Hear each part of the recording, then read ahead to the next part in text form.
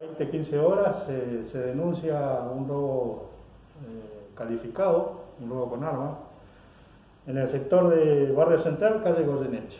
Una persona, un masculino de, 23 años de edad, eh, conocido del ambiente, se constituye en la comisaría sexta de Plaza Winkle, donde realiza una denuncia y manifiesta que alrededor de las 20-30 horas se encontraba en su domicilio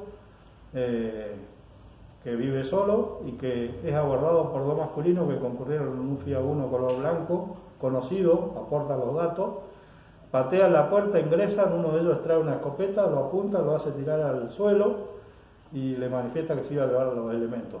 Eh, le sustrae en ese, en ese momento un inodoro, un lavamano, perdón, una mochila de inodoro y una máquina de cortar césped. Se retira del lugar y se dan a la fuga. Esa situación la puso en conocimiento esta persona, se está trabajando con el área de investigaciones y la Fiscalía Local pidió reporte único y se le dio intervención a nuestra área de investigaciones para, para determinar las, causales del hecho. No hubo lesionados, solamente el, robo de, de los elementos que mencioné anteriormente.